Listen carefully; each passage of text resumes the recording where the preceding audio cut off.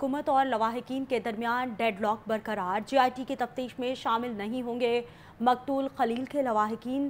سانحے کی شفاف تحقیقات کے لیے ایک بار پھر جوڈیشل کمیشن کا مطالبہ کر دیا۔ دیکھیے یہ رپورٹ۔